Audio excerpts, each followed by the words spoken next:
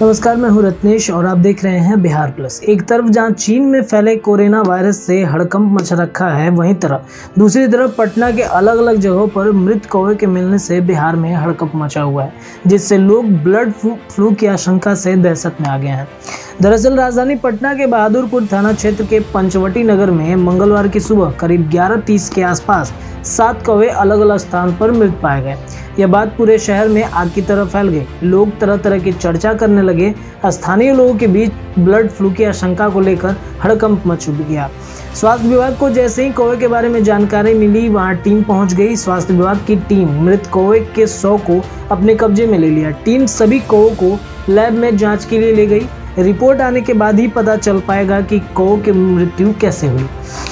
जानकारी के मुताबिक आपको बता दें कि टीम के लोग ब्लड फ्लू आदि किसी संक्रामक बीमारी की आशंका से बाज़ार समिति गए थे।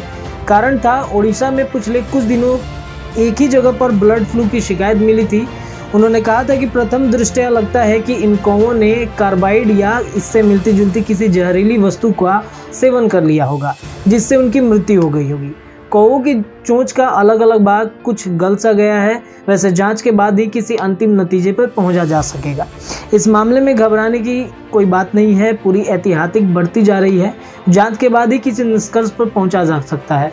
कोलकाता लैब से अगले बहत्तर घंटे में जाँच की रिपोर्ट मिल जाएगी। अब देखना होगा कि जाँच के बाद से क्या परिणाम निकलता है, क्या ब्लड फ्लू की जो आशंका लोगों में फैली हुई है, क्या वो बात सही है या फिर कुछ और ही बात है। तमाम जानकारी के लिए देखते रहिए बिहार प्लस और बिहार प्लस के फेसबुक पेज को लाइक कीजिए यूट्यूब को सब्सक्राइब करना मत भूलिए। धन्यवाद।